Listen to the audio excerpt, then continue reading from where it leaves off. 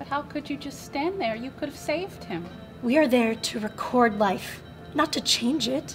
Time Stands Still is a play that it really explores the morality of people who do good.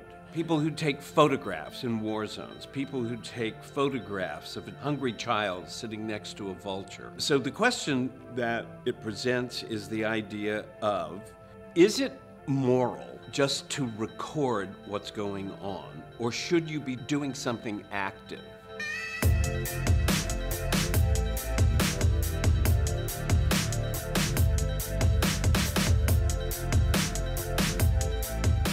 Relating with Sarah was, I think, the hardest part of my work.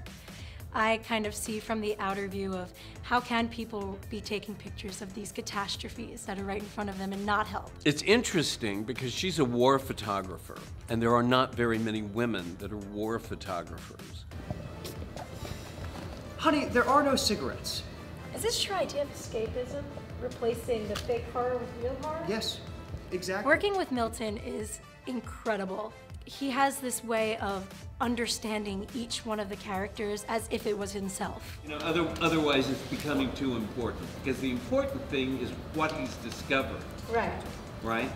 The background that we do in the beginning before we even dive into the script is so important. We watched documentaries, looked at pictures, looked at background information for literally two weeks of table work.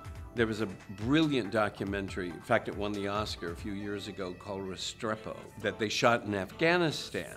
And you watch this documentary and you realize these filmmakers, very much like the photographers, go into this war zone.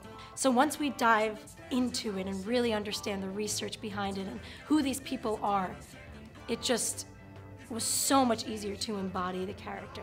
Mentally continue to that next thought. Okay. Time Stands Still plays the first weekend in March, uh, Thursday, Friday, Saturday, and a Sunday matinee at 2. I think people need to see this show because of the intense moments that are behind it. And to be honest, I'm kind of curious what people go away with and what their thought on the morality of what Sarah and James do is. And when people go home discussing a show, you know you did the right thing.